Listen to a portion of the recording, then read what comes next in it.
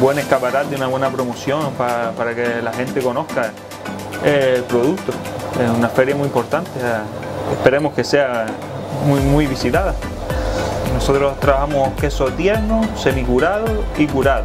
Pues dentro del semicurado tenemos de mezcla, cabra, vaca, oveja, cabra y oveja, cabra solo. Hacemos un poquito de, de todo un poco. ¿sí?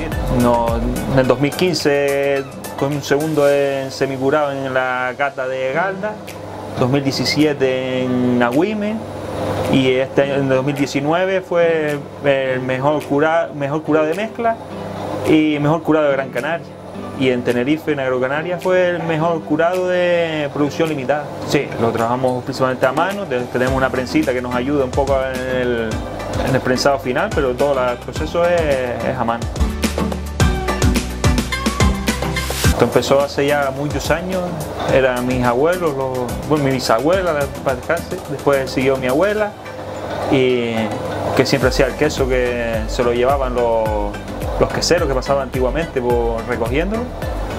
Y ya después mi madre continuó haciendo también un poco y hasta que ya pedimos lo que es el tema del registro sanitario y, fue donde empezó ya legalmente y, lo que es el tema de la quesería.